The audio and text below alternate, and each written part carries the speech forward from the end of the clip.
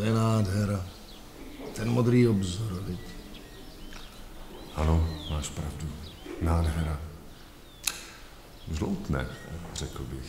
Ne, ne, ne, ne. Mílíš se, drahý. Ne, ne, modrá to. Já ti říkám, že žloutne. Modrá. Žloutne. Žlutá hnido. Ty zmudrale nanicovatý.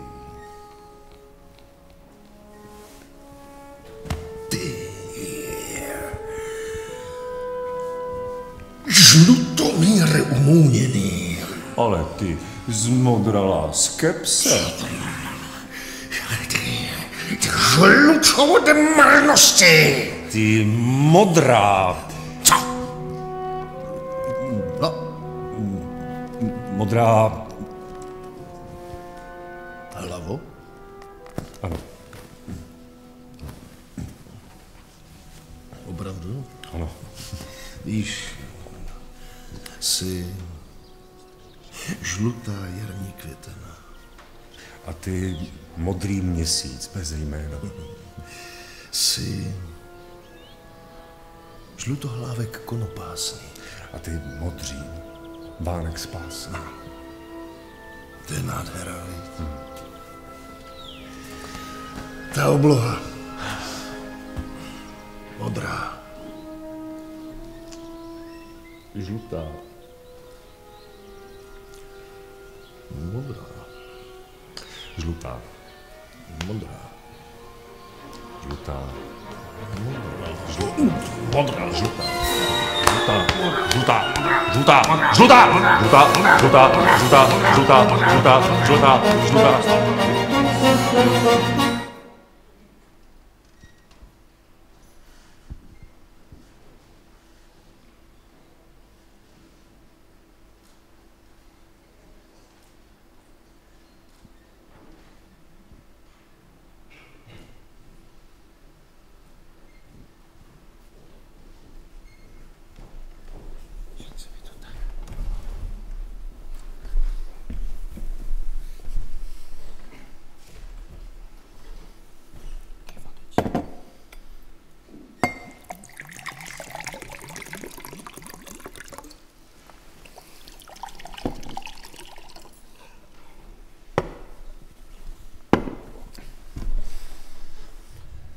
Tak dobrý večer. Chtěl bych vás přivítat na druhém dnešním eh, čtení. Zároveň je to první eh, ze šesti čtení polských autorů během eh, letošního měsíce autorského čtení. Já se jmenuji Maciej Ručaj, zastupuji zde Polský institut v Praze, který je velice rád, že může být opět po několika letech partnerem tohoto největšího středoevropského festivalu. Eh, Naším dnešním hostem je eh, pan Krzysztof Varga, který eh, je polský prozaik, řekněme prvotřídní prozaik. Takovou dobrým ukazatelem toho je, že byl třikrát nominován na nejprestižnější polskou literární cenu Nike, Sice ji nikdy nezískal, ale je třeba říci, že Nike na rozdíl od Magnézy Litéry nemá 64 kategorie, ale pouze jednu jedinou, to znamená nejlepší kniha roku ze všech možných žánrů, to znamená, že ta konkurence je opravdu těžká a být třikrát nominován do toho úzkého výběru deseti knih je sen každého polského autora. Krzysztof Varga je, živí se nejenom jako spisovatel, ale taky jako publicista, pracuje v kulturní rubrice nejvlivnějšího polského deníku Gazeta Wyborcza, kde píše hlavně recenze knih, to znamená, jestliže plánujete v Polsku něco vydávat, tak určitě stojí za to se s ním seznámit a zpřátelit. V češtině mu vyšly knihy dvě. Eh, ta první Gulaš z Turula, kterou tady bohužel nemám, vyšla před několika lety v eh, nakladatelství do Kořán. Eh, to je trošku jako, jako separátní kapitola v jeho tvorbě, protože je to spíše esej a je to esej, která vychází z jeho rodinného původu, protože Krištof Varga pochází z rodiny o smíšených polsko-maďarských kořenech, to znamená gulaš z Turula je vlastně takové jeho vyrovnání s tu svojí eh, maďarskou eh, půlkou své, své rodinné historie. Je to teda Turul, jestli to nevíte, tak to je mýtický maďarský národní tvor, je to teda nějaký mytologický jakoby pták, takže gulaš z Turula je název, který v Maďarsku udělal trošku rozruch. Druhá kniha, která vyšla v češtině a vyšla poměrně nedávno, protože koncem e, loňského roku e, je roman Piliny, je to jeden z těch tří románů, který získal nominaci na literární cenu Nike. E, přeložil Jan Faber, kterého dneska tady budu se snažit nahradit, protože nemohl nemoh dorazit. Vyšlo to v ostravském protimluvu, kniha je normálně k dostání v knihkupectvích, určitě ji doporučuji. Eh, co bychom o té knize mohli jenom krátce říct? Eh, v Polsku je velmi dlouhá tradice, mm, jak se to hezky česky říká, kálení do vlastního hnízda. Eh, polští autoři se různým způsobem vypořádávají ze svojí frustrovanosti společnosti, která je obklopuje polskými dějinami, polskou současností. Ta Mm, věčná nespokojenost eh, a nechuť eh, je takovou, takovým typickým poznávacím znakem nejenom teda polské literatury, ale třeba i polské kinematografie. Asi bych si dovolil říct, že ta věčná nespokojenost je trochu jiného rázu než, než české remcání v hospodě, eh, protože je to, zaprvé je to velmi dynamická síla, je to vlastně něco, co žene ty autory, ale i potom posléze celou tu společnost neustále vpřed eh, nutí hledat eh, to, to lepší, které, eh, které stále nepřichází. A druhá odlišnost je ta tedy, že intenzita těch negativních citů, která se k obklopující realitě, která, která v těch knihách nebo v těch filmech se objevuje, občas přesahuje pro nepolského čtenáře nebo diváka únosnou mes. Eh, ty, ty, ty, ty city jsou opravdu eh, velmi, velmi, velmi intenzivní. Zároveň je příznačné, že všichni tito lidé se neustále Polskem a tu obklopující realitou zabývají. Ona je nějakým způsobem žene k nějaké reflexi, k nějakému uvažování, ke kritice, Eh, která má ale sloužit eh, k tomu něco, eh, něco změnit. Hrdina, hlavní vypravěč knihy Piliny, je člověk, který tedy opravdu nenávistí ke všemu kolem překypuje a samozřejmě je otázka, jak je na tom samotný autor, jestli je to jenom konstrukce, nebo jestli, jestli Petr Augustín, hlavní hrdina Pilin, něco v sobě z autora Eh, má. Tolik úvodu. Eh, teď bychom možná přečetli eh, kousek z pilin v polštině, pokusíme se o to. Já se dopředu omlouvám, autor se nám trochu unavil dlouhou cestou vlakem z Varšavy v tom strašném vedru, ale doufám, že to společně zvládneme.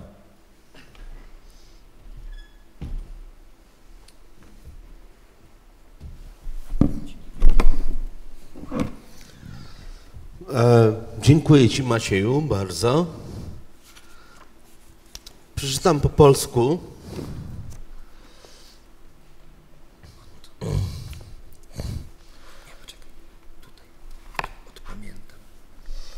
Okej. Okay.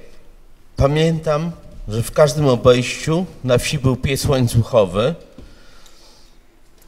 e, i każdy z tych psów swoim obędzie, obłędzie, rzucał się na łańcuchu, szczekając wściekle histerycznie, Każdy wabił się murzyn albo cygan. Nie było żadnych burków ani azorów. Nie było też żadnych ludzkich imion, Portos, Atos i Aramis. Każdy wabił się murzyn albo cygan. Tak była ograniczona pomysłowość tych ludzi. W szczękaczowym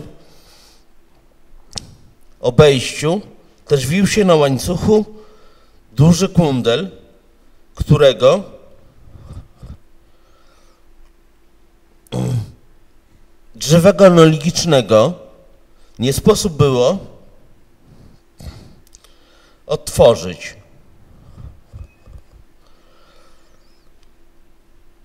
Kolejne pokolenie wiejskich kundli,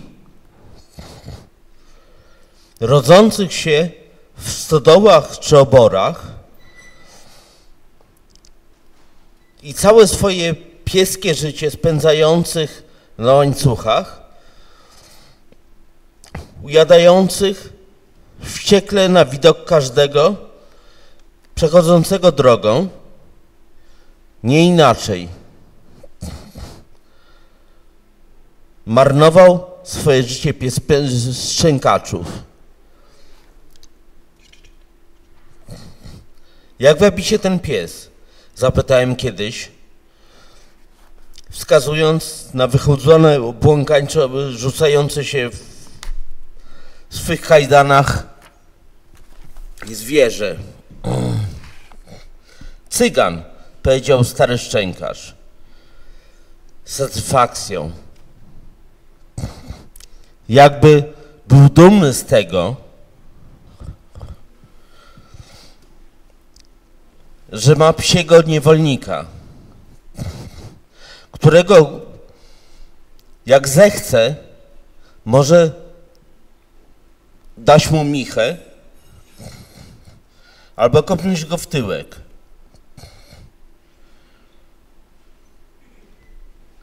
Albo w kopa. Tak dla podtrzymania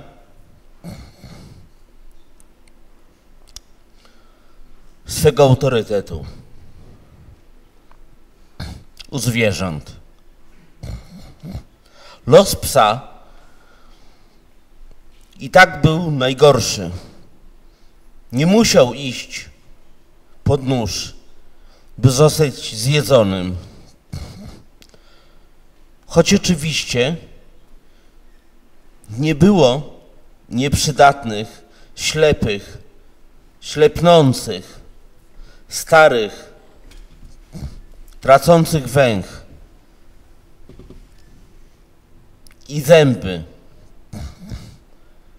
W tamtej cywilizacji starego psa się dobijało jednym mocnym uderzeniem łopaty.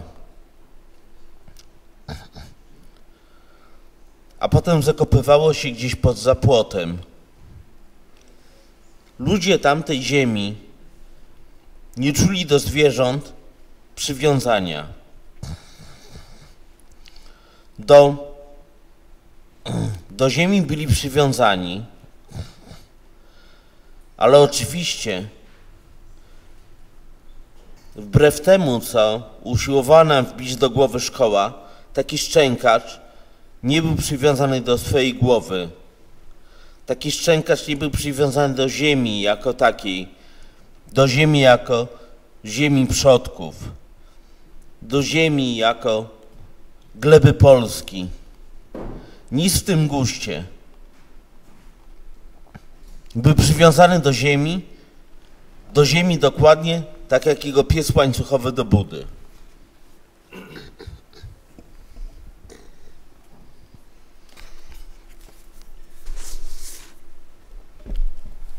Já možná dočtu, to je ten, tu, ten fragment, který už vidíte na vzadu, ještě dočtu poslední dva odstavce v češtině.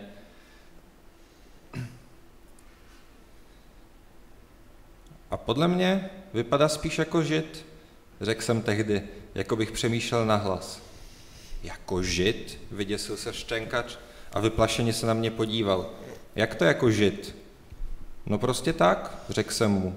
Tu tlamu má takovou nějakou dlouhou a jako by byl hrbatý a z očí mu kouka vychytralost. Tehdy jsem poprvé viděl štenkače vylekaného.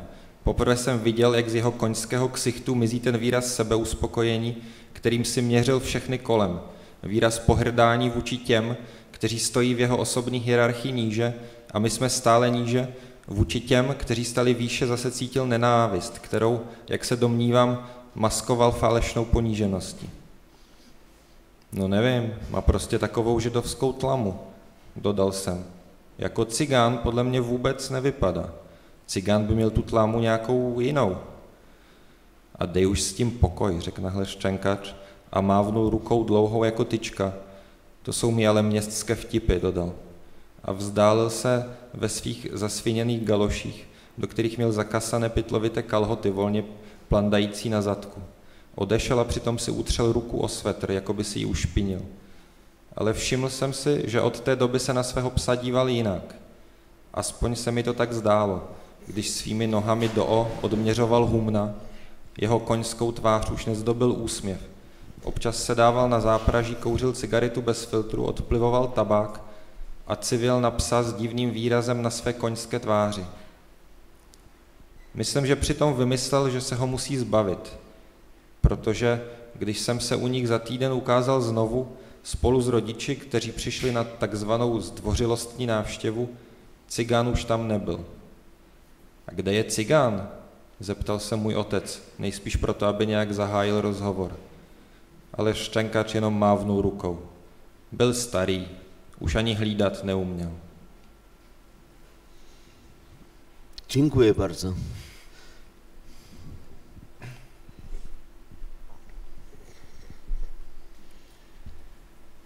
Já se možná teď rychle zeptám. Eh, hlavní hrdina se eh, vrací v tomto románu právě třeba v tomto fragmentu do svých vzpomínek z dětství, který se vychoval jaksi v mazovských polích eh, u Varšavy. Vrací se tam dost často v té knize právě obraz toho té ploché jednotvárné krajiny. Vy jste taky z mazovského venkova, nebo je to čistě literární výtvor? Pochodzisz z wsi mazowieckiej, czy... Tak, tak. Ja jestem z Mazowsza e, i prawda jest taka, że ten Międliszew, który e, występuje w mojej książce, to jest e, tak naprawdę e, taka wieś mazurska, e, gdzie ja z rodzicami jeździłem na wieś e, i spędzałem tam wakacje, niestety. E, Takže ano, já opravdu pocházím z Mazovska, z, z, z mý rodiče, moje rodina pochází z venkova a ten Měndlíšev, do kterého se vrací hrdina románu, tak je tak nějak stylizovan podle e, jisté vesnice, do které jsem s rodiči jezdil na prázdniny, bohužel. Dlaczego niestety? Wiesz, no, e, prawda jest taka, że e, jakoś tam strasznie cierpiałem z tego powodu, że muszę jeździć z rodzicami e, do tego e, Międliszewa, tak? E, i, I po prostu jakoś tak to było bolesne strasznie. E, w każdym razie to było tak, że znaczy w ogóle moje życie z rodzicami było ciężkie. E, já jsem prostě e, hrozně nesnášel ty cesty, vadilo mi, že musím e, s rodiči tam, tam jezdit na ten venkov a tak trochu tu svoji, tu, to svoje dětské trauma jsem přelil do těch, do těch popisů. Trauma, trauma. Tak. Ale já jsem celkově, celkově jsem to měl z rodiči takové těžší. Tak, to trauma była absolutnie. E, wiesz, i, i po prostu w, jeździliśmy na tą wieś I to było straszne po prostu, wiesz. No ale co było straszne? No straszne to było po prostu, wiesz. Ale oni nie widzieli polskiej wsi, musisz wytłumaczyć co. Znaczy, państwo nie widzieli polskiej wsi, tak? Polska wieś e, to jest koszmar. Polská vesnice je noční můra. Já nevím, jsem v pár byl. Polska wieś to jest koszmar absolutny. E, I pamiętam, że to było tak, że jeździliśmy na tą wieś. E, jakieś to było straszne po prostu. E, I Maciek, no. No po prostu koszmarne, no. Tak na tom venkově to bylo strašný a ptá se mě, co si o tom myslím. Já jsem byl na polském venkově dost často spokojený, ale já jsem městský kluk, takže jsem na venkov jezdil jako... Maćku? Że ja jestem z miasta, czyli że ja na wieś jeździłem i mi się tam podobało. To było coś innego. Znaczy to by się podobało, tak? Tak. Ale może Okej. w innej wsi byłem. No tak, tak. Przeczytamy jeszcze jeden. Dobra, przeczytaj.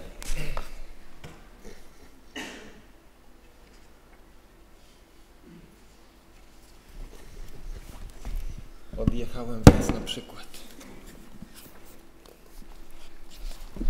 Jeździłem zatem po Polsce przez prawie ćwierć wieku i nie było już nadziei, iż kiedyś przestanę, że mój los się odmieni. Nie było już dla mnie w tym kraju innego miejsca niż przedział kolejowy i trzygwiazdkowy hotel. Zmieniło się tylko to, że w domu czekała na mnie już żona, choć czy kiedykolwiek czekała naprawdę? Pozostaje, jak to się mówi, kwestią otwartą. Być może, jeśli uda się mi dotrwać do emerytury,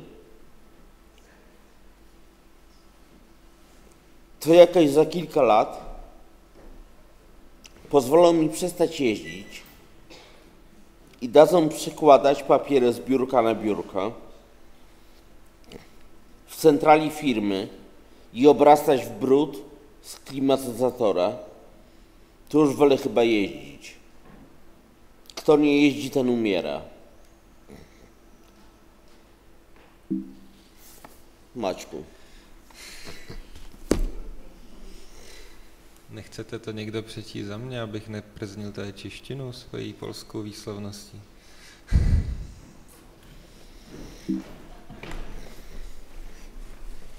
Odjel jsem takhle. Přátelé, já miluji exibici, takže se omlouvám všem, kteří přišli na někoho jiného. Já se jenom, ten odstavec, tady, Začneme odsaď, odjel jsem. a pak mi zastavte teda. Jako. Tak můžete číst dlouho. Tak sem.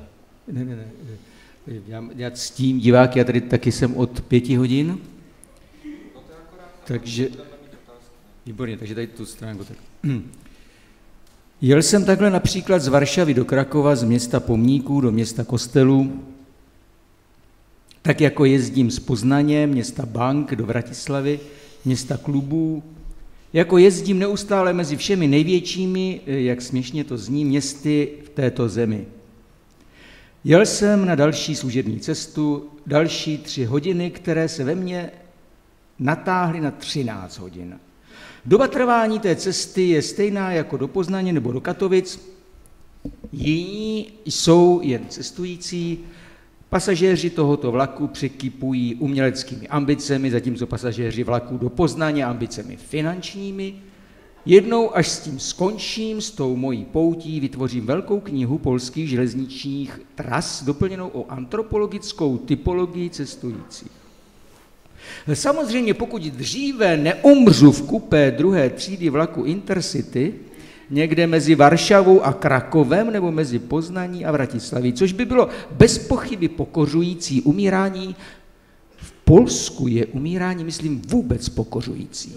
Zejména když se jedná o přirozenou smrt, dá se říct, že smrt v důsledku rakoviny nebo chorob oběhové soustavy je v Polsku považována za smrt hanebnou, ba přímo ponižující, ať už ve vlaku či v nemocnici, Nevidím v tom větší rozdíl a nedokázal bych se rozhodnout, kde bych chtěl umřít. Smrt v Polsku je navíc smrt nelidská, protože umírající člověk zde zůstává člověkem pouze tehdy, když ho zabíjí v boji za vlast a on umírá s růžencovou modlitbou na rtech, protože umírat se má výlučně ve válkách, povstáních a při národních pohromách, případně při hromadných dopravních nehodách.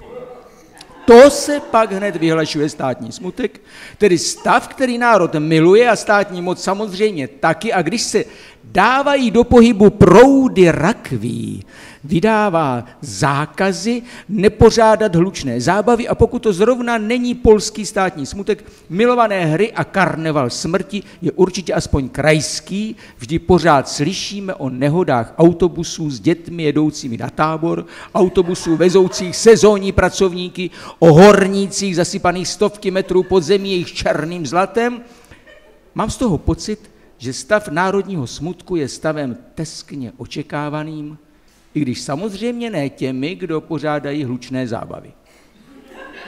Od té doby, co eh, nevedeme národně osvobozeneckou válku, nám nezbývá, než se hýčkat smrt při národních tragédiích, protože musíme umírat spektakulárně. Abychom umírali pořádně, nemučednická smrt není možná smrt, není polská, taková smrt se Bohu nelíbí, protože Bůh má s Polskem jiné plány.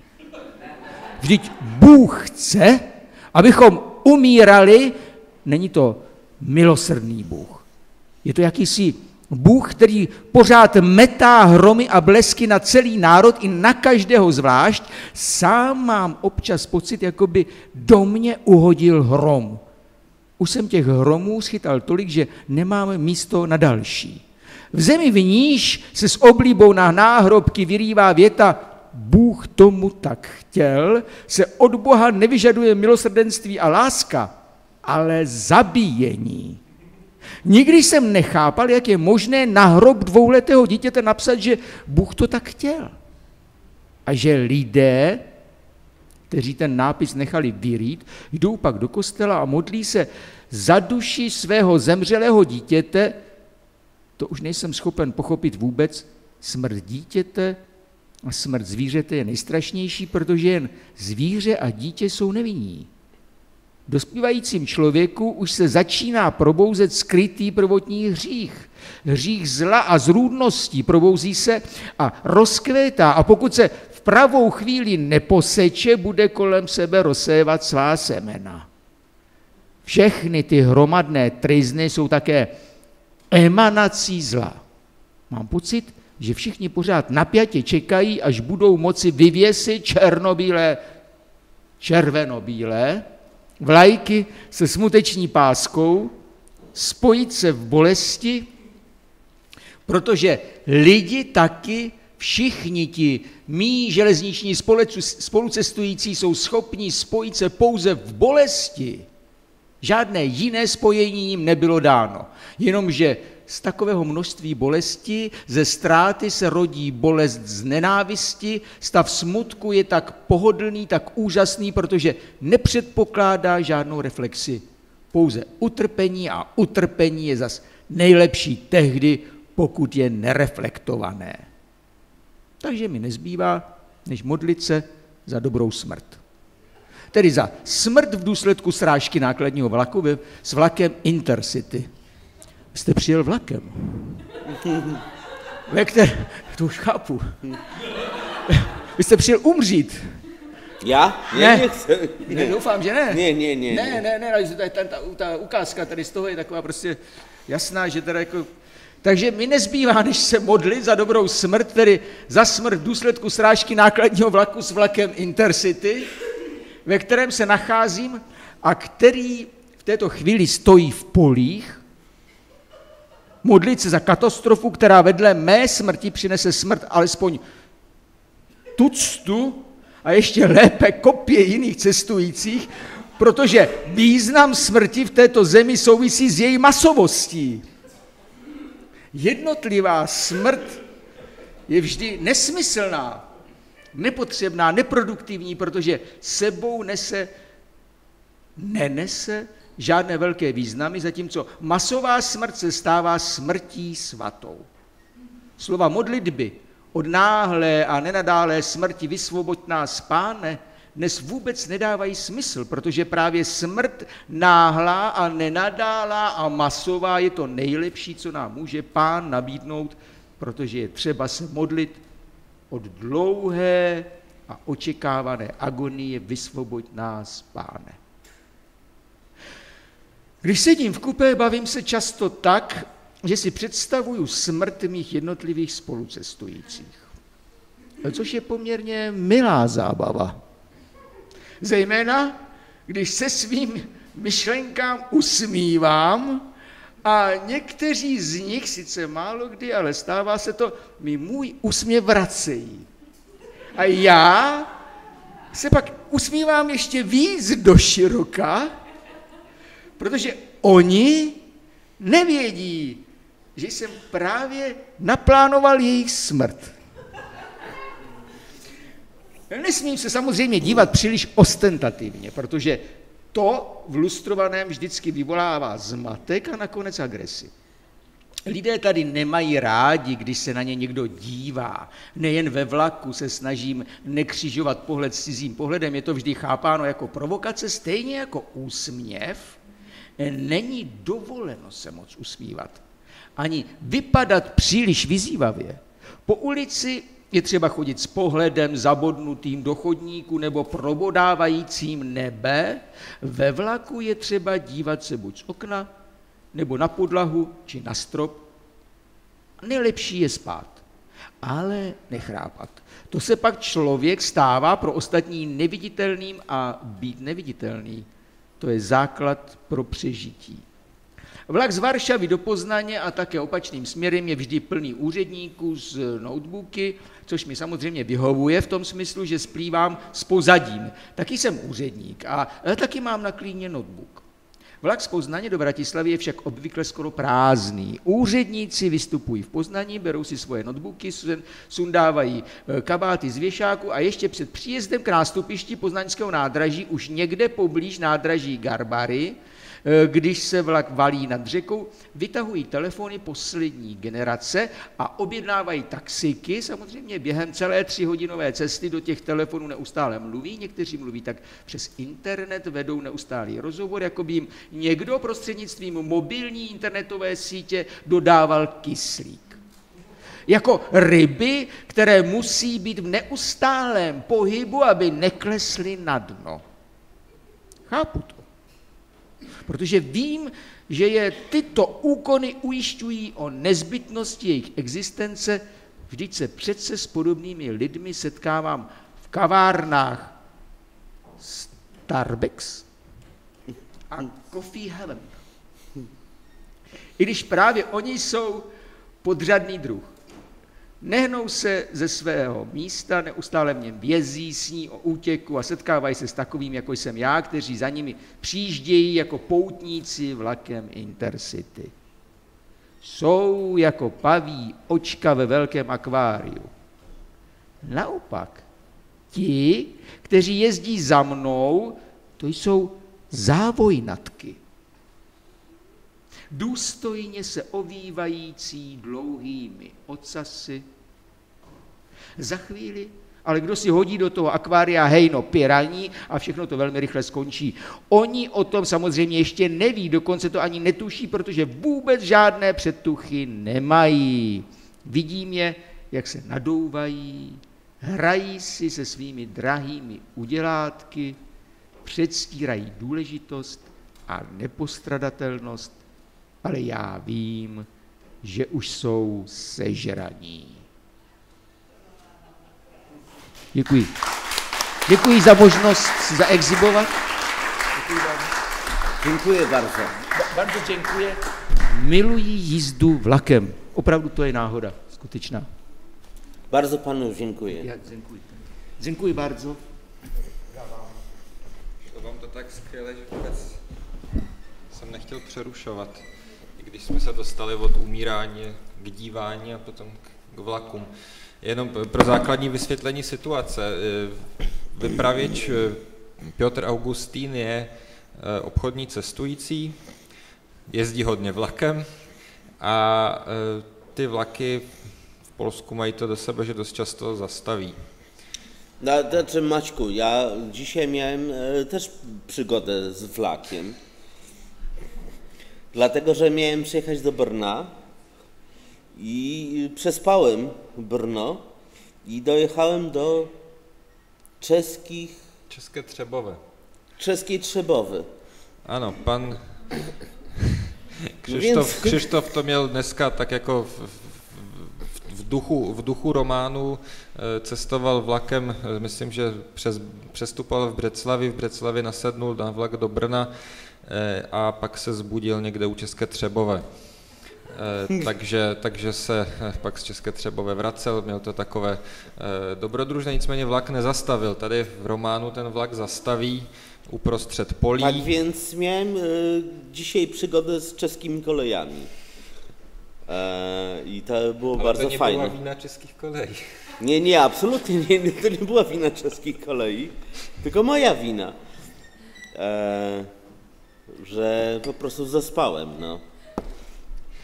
Takže v tomto případě to nebyla eh, vina železnice, ale, ale eh, zaspal jsem.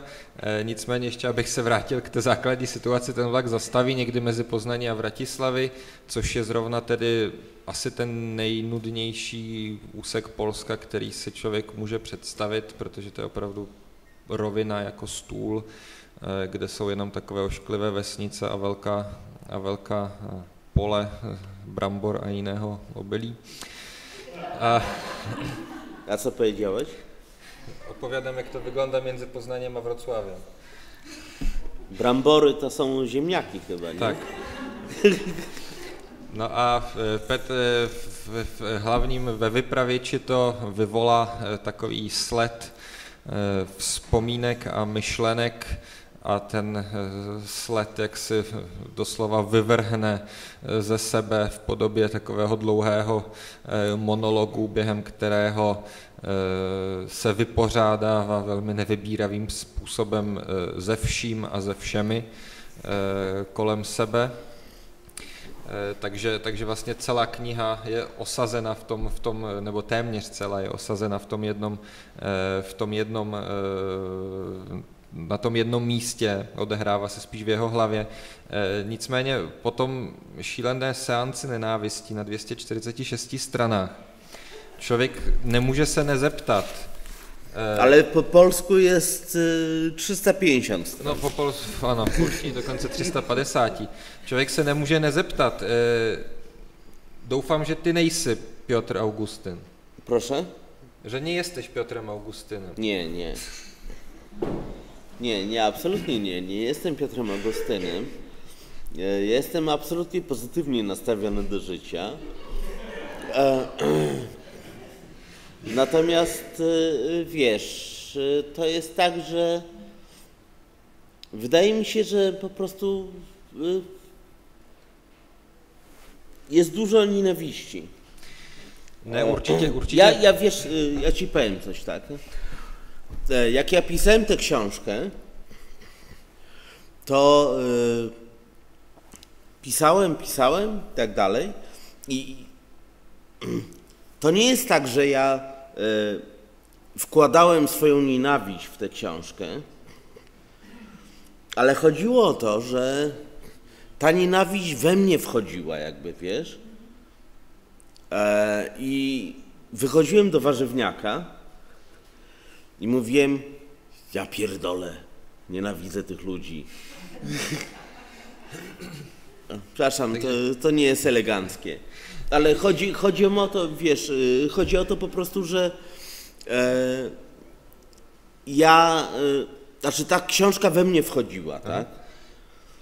Já určitě nejsem Petr Augustín, naopak já jsem velmi pozitivně k realitě naladěný člověk a není to tak, eh, že bych jí psal a u toho psaní jak si proléval do knihy eh, svoji nějakou nenávist ke světu, ale spíše jsem fungoval jako takový hromosvod. Já jsem pohlcoval tu nenávist, kterou jsem cítil kolem sebe v, v, v lidech nebo v, v médiích vůbec, jak se ve světě, který mě obklopoval. A, a spíše jsem eh, jakoby tu, tu nenávist zvenčí jsem ji přenášel v, do, eh, do knihy. A, a byl jsem jí tak nabitý, že jsem potom šel během psaní třeba nakoupit do, do, do, do potravin a eh, říkal jsem si sám pro sebe, ty vole, já ty lidi tak strašně nenávidím. Tak, dokładnie, tak było. E, I to było strasznie, wiesz, takie rozczarowujące, wiesz, wrażenie. Dlatego, że e, pisałem tę książkę e, i chciałem pokazać po prostu, wiesz, polską nienawiść, tak? I, I to było straszne, dlatego że Właśnie poszedłem do warzywniaka, do spożywczaka, tak? E, i, i, to było okropne po prostu. E, no. I wiesz, wyszedłem na ulicę i po prostu czułem się źle, tak? Ta kniha mě kvůli tomu, právě kvůli tomu, že jsem se snažil tak nějak jak si nejdříve do sebe vstřebat a potom vyplivnout tu celou eh, polskou nenávist, tak mě stala opravdu hodně úsilí a občas jsem se děsil toho vlastně těch svých myšlenek, když jsem, když jsem pak jak se vracel, eh, vracel mezi lidí a opravdu eh, velice hluboce mě to eh, nějakým způsobem eh, poznamenalo. I, strasznie ta książka mnie bolała, tak? E, dlatego, że e,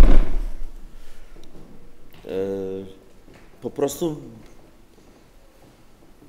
cierpiałem przy niej. Znaczy, przepraszam bardzo, że to mówię, tak? A ten psaní, psaní té knihy to bylo opravdu uh, utrpení. Otázka, jestli taky tak. čtení té knihy, jestli taky utrpení.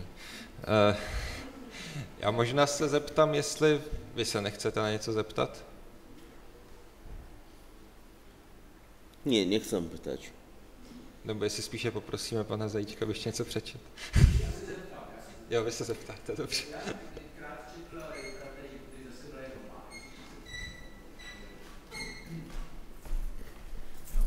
Podám mikrofon, aby nás slyšeli i na internetu. Jak tedy, vy když takhle jezdíte tím vlakem, já totiž ve vlaku píšu.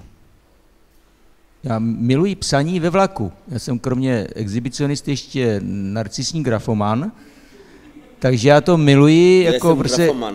Ano, ne, ne pán, já, jako já, váš tady exhibující čtenář. A to ve mně vyvolává ta jízda vlakem právě tu touhu psát, právě proto, abych nepropadal těm stavům, které vy pak vyjadřujete v té knize. Takže já bych se chtěl zeptat, jak píšete vy? Píšete taky ve vlaku, nebo jestli píšete jakoby, tady toto jakoby po, po ranním probuzení nebo při večerním rozčílení?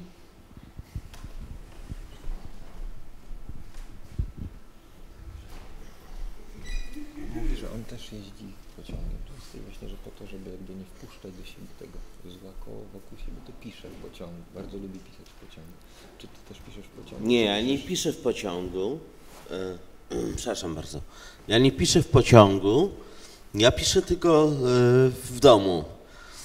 E, I pociąg dla mnie to jest. No to czy nie, no nie, nie piszę w pociągu, no. Raczej rano czy wieczorem? Okej. Okay. Mogę powiedzieć szczerze.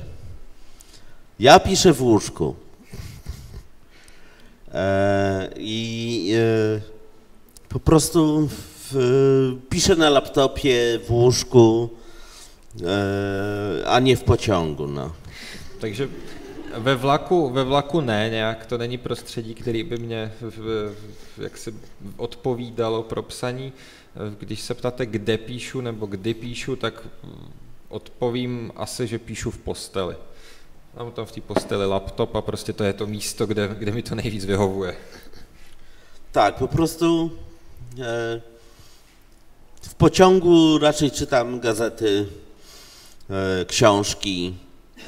O, Ve vlaku spíš čtu noviny nebo, nebo knihy.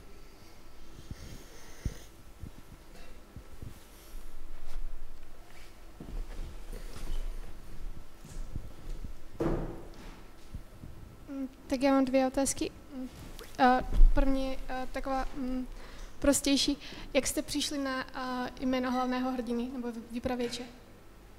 Jak vzniklo? A druhé. A Jaký je a, podle vás originální zdroj ty nenávisti, která a, je v Pětrovi a Augustinovi? Pierwsze pytanie, od, od skąd się wzięło imię bohatera, imię i nazwisko? Piotr Augustyn. E, to jest tak, że ja chodziłem do liceum katolickiego imienia świętego Augustyna. E, I e, to jest dla mnie bardzo ważne doświadczenie, że chodziłem do tego katolickiego liceum. I wymyśliłem sobie, że Augustyn to no, musi być Augustyn, tak? A Piotr, no tak wpadł mi do głowy Piotr po prostu. E, ale Augustyn, chodziło o Augustyna, czyli moje liceum ogólnokształcące. takže ten, to, to, to, jméno, to de facto náhodný, kdo je, co je podstatný, je tam ten uh, Augustín uh, a to proto, že já jsem, uh, chodil jsem na katolické gymnázium, které bylo, mělo za patrona právě svatého Augustína a byla to pro mě velice klíčová životní zkušenost, takže příjmení Augustin je naprosto záměrný a má tento původ. Tak, i e, w ogóle jestem e, bardzo związany, znaczy ja wiem, że Państwo są e, ateistami, ale dla mnie to było bardzo ważne doświadczenie, tak, bycia w liceum katolickim i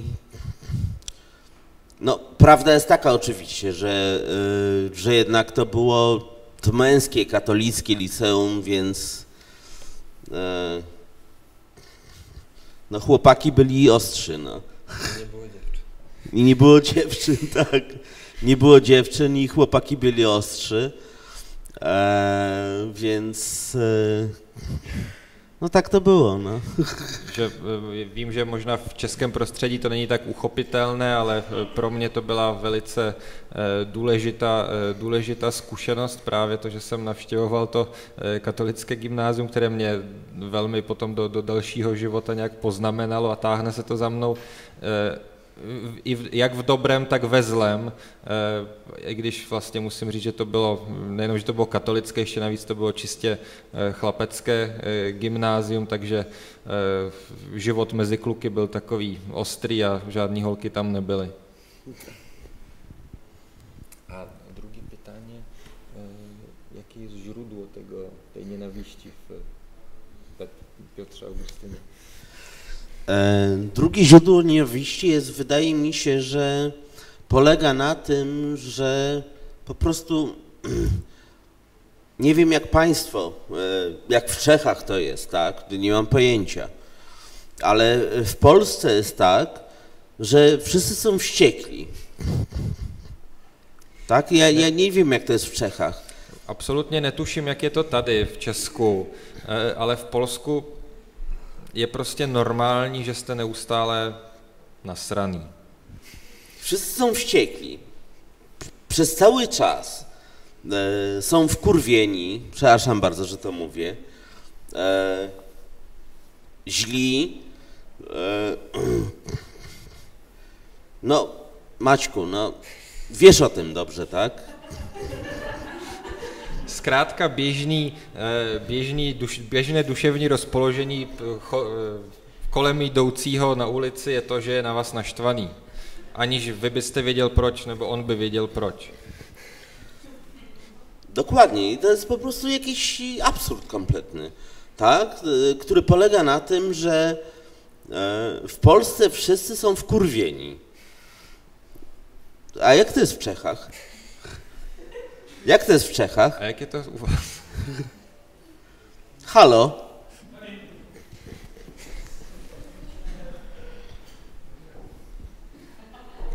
Ja neznám, jak je to v Čechách a, a, a je, Proszę? že neznám, jak je to v Čechách, jestem Morav, Moraviak. A na Moravě to někdy možná je i taky tak, ale, Na ale tak? na, Mora, na Moravě, když nás něco trápí, tak eh, si oteř, od, někteří z nás otevřou lahvinku vína a pak je to o něco lepší. Takže místo, aby jsme tolik nadávali, tak možná zase trošku víc A na pijem, Moravě pijem a pak se zpívá. Ale a já bych se Na pak- Morawie jesteście wkurwieni? No někdy asi taky, ale, ale říkám, že, že, že potom, potom víně, že se víc zpívá a nedávají si lidi tolik po papuli, takže to myslím, že celkem jde. Ale chtěl se zeptat, a jestli byste nám mohl říct, když jste z Mazovska, jak vlastně lidi na Mazovsku vnímají Mazury, kromě toho, že tam je možná trošku rozdíl ještě s evangelickou církví, ale vztah Mazo, Mazovše a Mazury, jestli byste nám o tom něco mohl říct. Maćku, pomóż. Po, po pierwsze, jeżeli chodzi o, o Morawian i ich wkurwienie, to oni jak są wkurwieni, to się napiją i potem sobie śpiewają i jest dobrze. To jest Aha. punkt pierwszy. E, A punkt drugi jest taki, jest pytanie etnograficzne. Jeżeli pochodzisz z Mazowsza, jaki jest, e, jakie jest postrzeganie czy stosunek między Mazowszem a Mazurami? Czy to jest jakby traktowane jako jakoś odrębna całość, czy, czy nie ma tam jakiejś świadomości? Nie, nie, wydaje mi się, że y, ja nie, nie widzę różnicy między Mazowszem a Mazurami. E, ja bardzo lubię Mazury. E, tyle, że to jest tak, że że jak była wojna, to kiedy Rosjanie weszli do Polski, to y, nie gwałcili y, w Polsce, ale gwałcili na Mazurach. Tak? Dlatego, że Mazury to były Niemcy.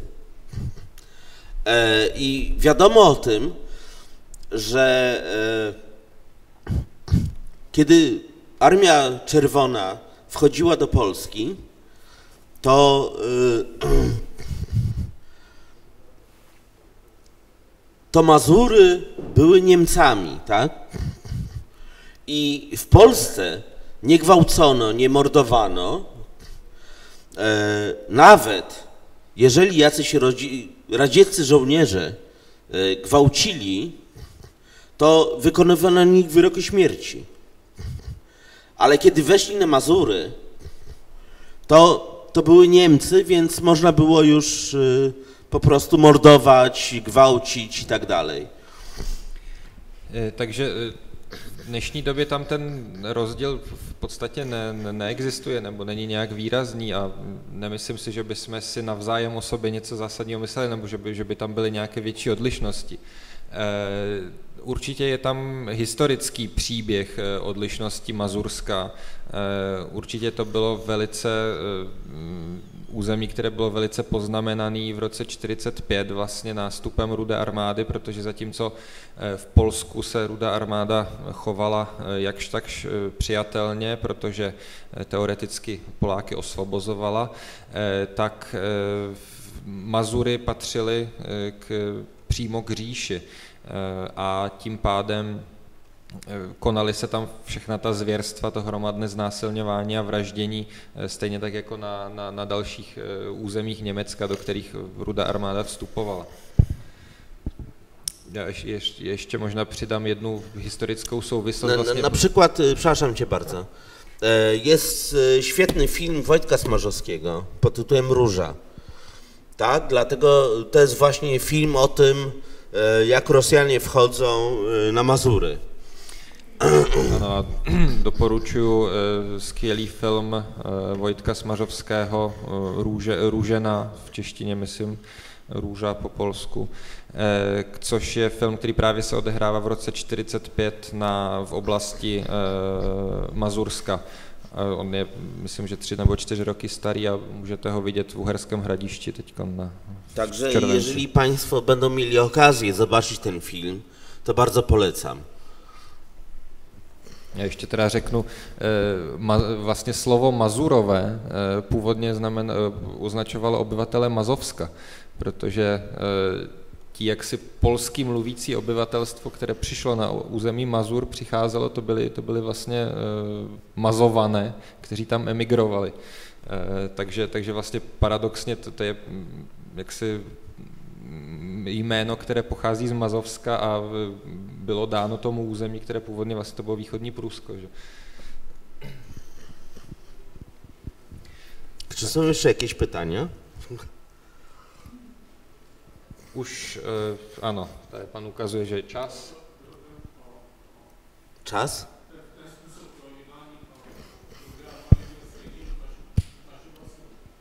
Ne. Ne, protože Ka- Kašubsko bylo v rámci, to bylo v předválečném Polsku. O Kaszuby? O Kašuby, protože tam bylo pod, taká sama historie nebyla, nebo Kašubowie byli v No nie, nie, nie. Polakami. Znaczy byli w granicach Rzeczpospolitej. Tak, tak. Tak, já vám všem moc děkuji. Děkuji eh, Ja bardzo dziękuję. našemu autorovi, prosím ještě jednou o potlesk. Dziękuję bardzo.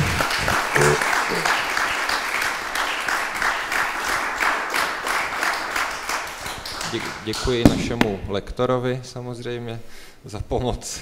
Eh, Bardzo panu dziękuję za fantastyczne czytanie. Absolutnie. Bardzo dziękuję. Brawa. A rovnou, a rovnou využiju příležitosti a pozvu vás v neděli na setkání ve stejnou dobu s Pavlem Smoleňským, což je jeden z nejvýznamnějších polských reportérů současných. Eh, A potom ve středu na eh, křehkou, nicméně drsnou eh, básnířku a prozajíčku Justinu Bargielskou. To jsou dvě nejbližší polská literární setkání v rámci měsíce autorského čtení. Děkuji a hezký večer. Dziękujemy bardzo.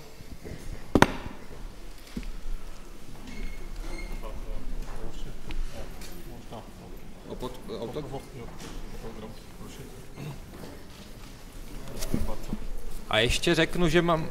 Jo, vypnutý.